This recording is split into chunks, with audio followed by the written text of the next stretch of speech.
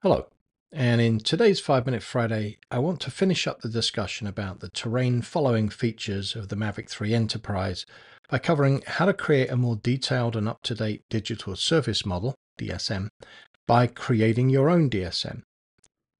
This will allow you to perform lower level flights than the 80 meter minimum recommended by the real time follow options that are available on the drone.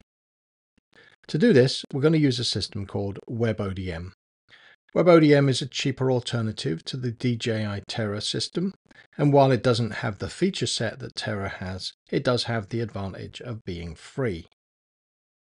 Ironically, to create an up-to-date DSM for your flight, the first thing you will need to do is to create a map of the area by flying over it.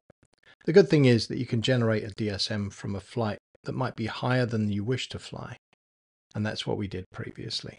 If you've not already watched the first video covering terrain follow, I suggest you start there.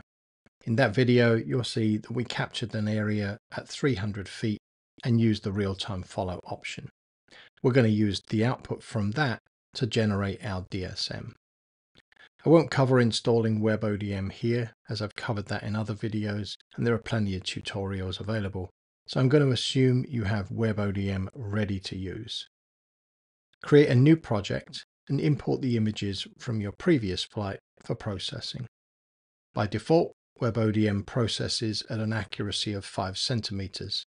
But on a map of any size, that's going to create a very large file, and the Pilot 2 app limits the file size you can import.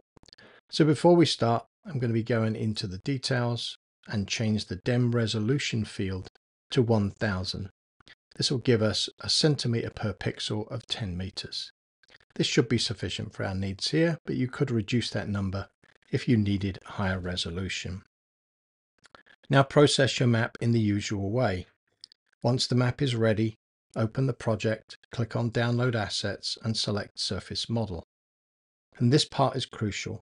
Change the drop-down to lat long EPSG 4326. This is the coordinate system that the Pilot 2 app is expecting and anything else is going to cause it to not place the map in the right place. Leave the format as GeoTIFF RAW and now we can copy this onto an SD card which we will take over to the RC Pro controller. I'm going to create a new map and start from the KMZ that we brought over previously. Import the KMZ choose area route, and then we can edit our map. And because we brought in a KMZ rather than a KML, the area route name defaults to doc. So a little pro tip is always bring over a KML. It'll name your files appropriately. Now we scroll down, change the altitude mode to AGL as before, and then again select on reselect. But this time, instead of clicking download from the internet, we're going to click import. Navigate to where the file is on your SD card and import the TIFF file. And straight away, you can see that we have a very similar situation to our previous import, which is showing you the altitudes that we've captured you'll see that there's a yellow dashed line around the outline of the map.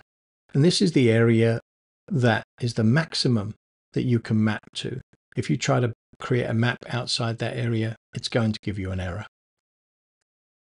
If we again download from the internet, you can actually load both files and you can compare them side by side. I think you'll see that the results are actually quite similar. It's not too surprising because this area hasn't changed much. But the file that we created has more detail in it and is more up to date.